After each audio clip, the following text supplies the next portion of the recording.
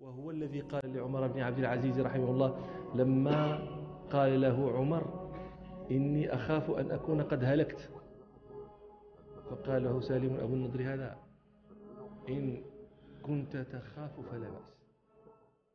يعني لا لست أخاف عليك أن تخاف لكني أخاف عليك ألا تخاف.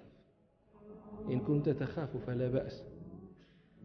عبد خلقه الله بيده ونفخ فيه من روحه وأسجد له ملائكته وأباحه جنته أخرجه منها بمعصية واحدة.